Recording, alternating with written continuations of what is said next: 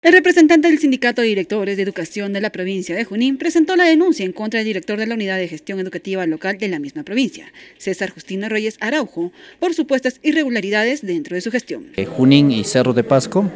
para hacer llegar nuestro malestar a la demora en la atención a nuestras denuncias que hemos presentado los directores de la provincia de Junín especialmente a las infracciones éticas que viene cometiendo el director de la UGEL Junín,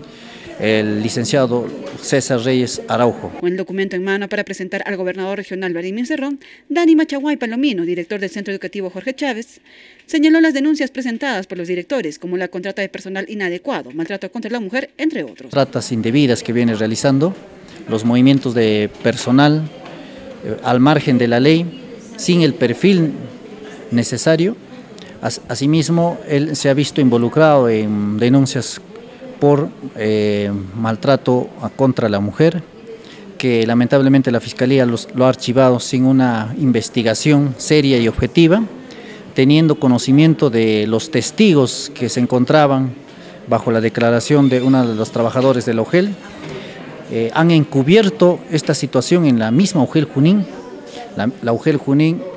eh, bajo la dirección de César Reyes Araujo, maneja una caja chica donde los personal contratado tiene que abonar mensualmente,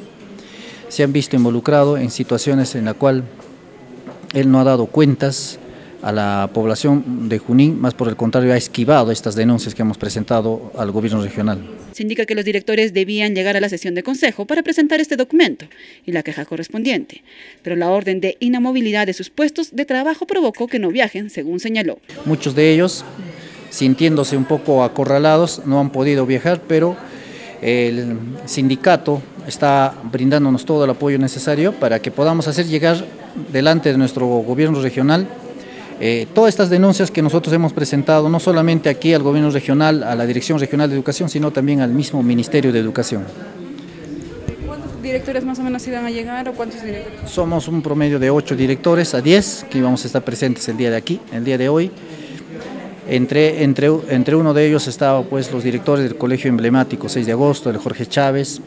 eh, eh, del Colegio Santa Rosa, la Victoria de Junín, de las instituciones educativas del nivel primario. Ahora solicitan el retiro del director de César Reyes del cargo de la UGEL Junín.